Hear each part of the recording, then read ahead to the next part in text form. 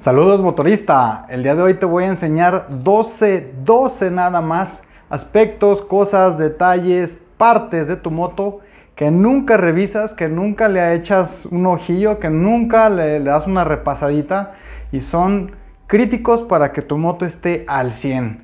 Chécalas todas porque una de ellas te puede dejar tirado.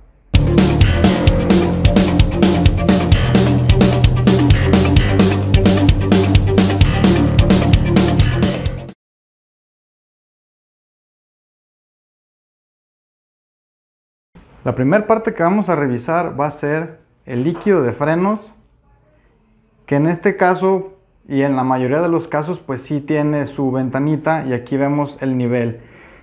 Pero el gran error es que ven el nivel bajo y le completan y no. Lo primero que tienes que revisar antes de rellenar aquí es revisar el estado de tus balatas. A ver si se alcanza a ver. De hecho sí se alcanza a ver un poquito ahí más o menos. Como vemos, sí están desgastadas, pero todavía, todavía tienen pasta. ¿Cuál es el límite de la, de la balata? Cuando las ranuras ya no se ven, ahí es cuando ya la, la balata ya se acabó. En este caso en específico, sí hay que rellenar un poquito, pero cuando cambies las balatas va a haber que checar porque muy probablemente cuando vuelvas a reducir los pistones, el líquido se va a tirar. Entonces antes de, meter las balatas nuevas, sácale un poquito de líquido y ahora sí, ya al último lo nivelas.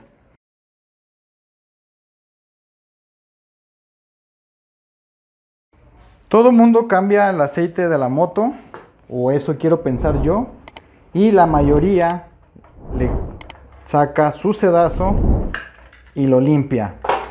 Eso quiero pensar yo también. Este, este sedazo o algunos otros que hay de plástico en otro tipo de motocicletas, siempre se tiene que checar cuando cambies el aceite, siempre se tiene que, limpiar.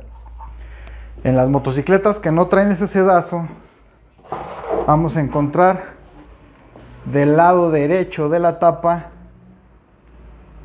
esta mallita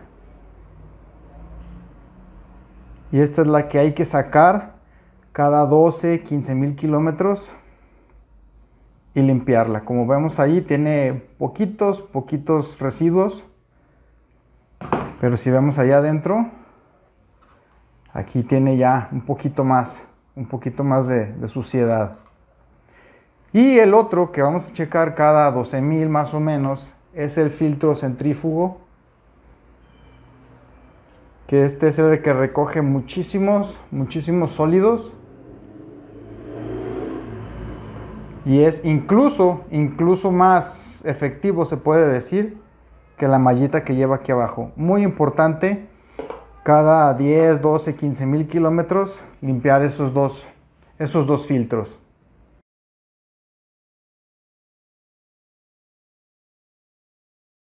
La tercera parte que vamos a revisar es que Obviamente, pues nosotros si vemos el filtro de aire sucio lo cambiamos. Este no está nuevo, pero todavía aguanta. Pero muchas de las veces algunas cajas de filtro tienen este tipo de, mangueras que si hay regresos del cárter o del carburador o incluso si se escurre algo de la parte de arriba de la entrada de aire, aquí acaba eso que lo que llega a escurrir. Generalmente suciedad y aceite. Nada nos cuesta jalar esa manguerita de vez en cuando. Si se puede cada servicio mejor, pero si no, igual cada 10, 12 mil kilómetros. Y si tiene algún residuo, tirarlo. En este caso no tiene, no hace demasiado tiempo que lo cambié, pero sí se ve ahí que tenía un poco de aceite en la parte interna. De vez en cuando limpiar esta manguerita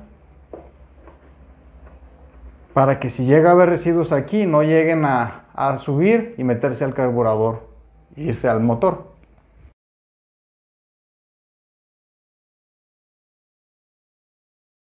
A ver si se alcanza a ver.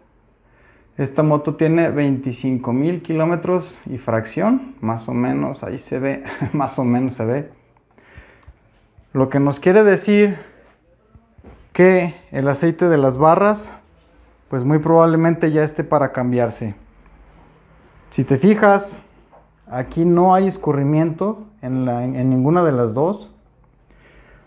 Pero si tú cambias tu aceite de las barras cada año o cada 12 mil kilómetros, aunque no estén reventados los retenes, pues obviamente mejoras mucho ah, el manejo de la moto y puede incluso que también el propio retén te dure más. Esta moto ya se le cambió una vez el aceite, los retenes nunca se le han cambiado, ya voy a cambiarle otra vez el aceite de las barras y los retenes siguen en buen estado.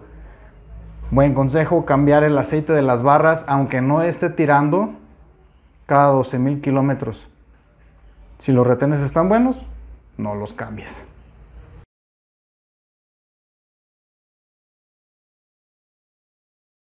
La mayoría de las motos no tiene filtro de gasolina, la mayoría de las motos de trabajo, pero sí traen esta, esta pequeña pieza de aquí, esta cazoleta que sirve como filtro de gasolina porque todo residuo sólido ahí va a caer, ahí va a quedar. De vez en cuando hay que sacarlo y limpiar. Como vemos ahí al fondo hay un poquito de residuo. Ese residuo de vez en cuando sacarlo, limpiar y volver a poner. Y no es tan necesario poner un filtro externo.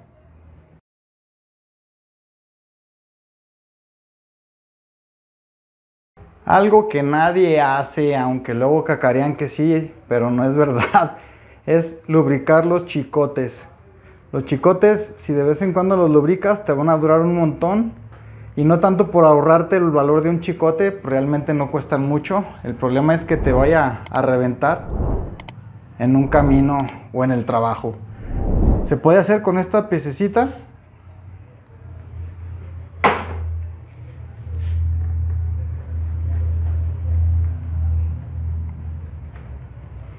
o simplemente directo ahí en el agujero le echamos un poquito le hacemos para arriba y para abajo le aventamos otro poquito y de arriba para abajo.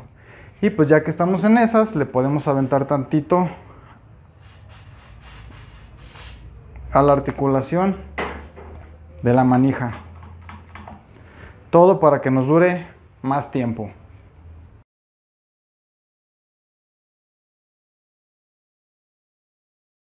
Algo que es de lo más obvio, de lo más tonto, de lo más simple, pero que un montón de gente no revisa, es la presión de las llantas.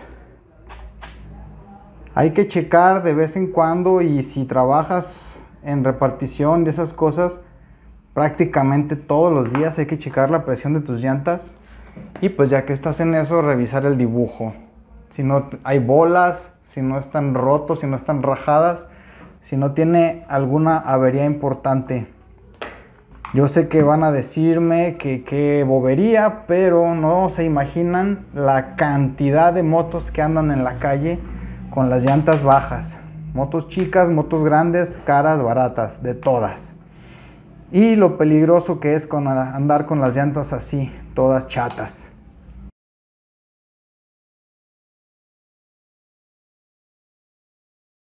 Y ya que estamos con las llantas, pues obviamente hay que revisar rayos y rines. En su caso, pues este es un rin sólido. Este no trae rayos, pero sí podemos revisar que no tenga nada partido, que no esté pandeado, que esté en buen estado la ceja donde, donde sienta la llanta. Y en caso de que sea de rayos, pues darle una apretadita a los rayos manualmente. Y si sientes que alguno lo apachurras demasiado fácil, hay que ajustar. Si es uno o dos rayos un poco flojos, los puedes ajustar ahí en ese rato sin desmontar llanta ni nada. Si ya la llanta se está moviendo, pues ahí sí ya hay que desmontarla toda y nivelarla por fuera.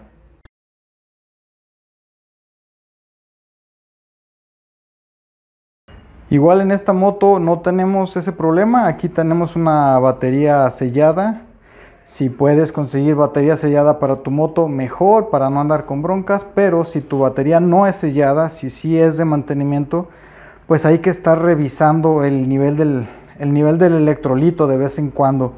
Algo tan simple como que se te olvide el electrolito y que baje demasiado, funde tu batería, la echa a perder y al rato aunque la llenes ya no sirve. Y mucha atención con esta manguerita, que pues con esta pila no la necesita, pero con las baterías que no son selladas sí se ocupa, porque si esta batería, esta manguerita no la conectas al, al desfogue de la batería, todo aquí alrededor se te va a llenar de ácido, se va a corroer, se va a manchar, se va a echar a perder y mínimo, mínimo, pues la pintura se pela. Pero si caen las conexiones, pues las echa a perder también.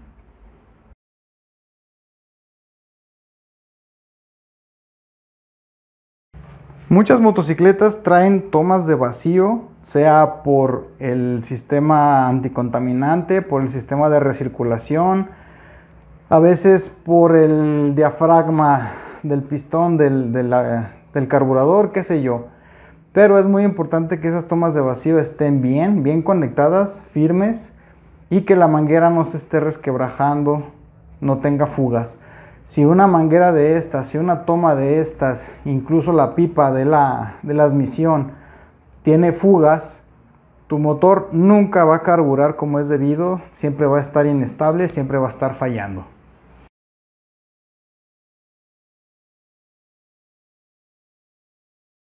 Algo que también nunca se le da importancia es la grapa, la que junta los eslabones de la cadena.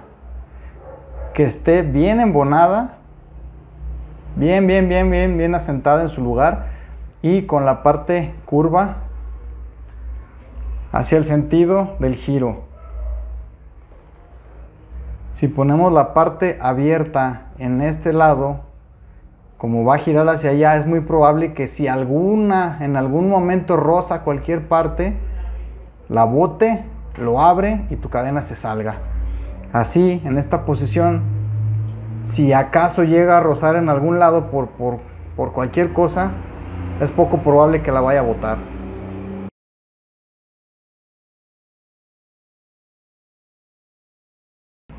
Y la última cosa que vamos a revisar, que nadie revisa, son los conectores.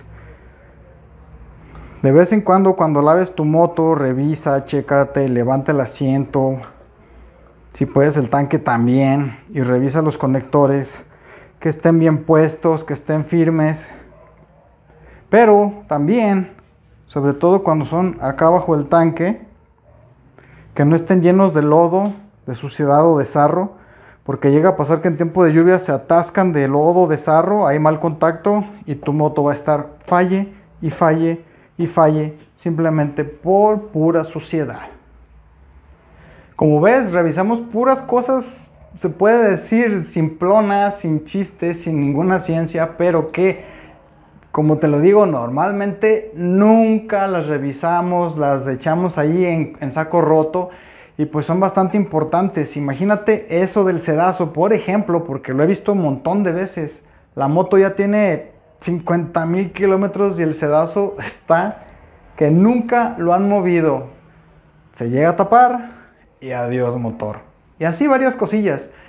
Si quieres que tu moto te rinda, te dure, te dé mejor kilometraje, más potencia, bla, bla, bla, pues empieza por este tipo de cosas.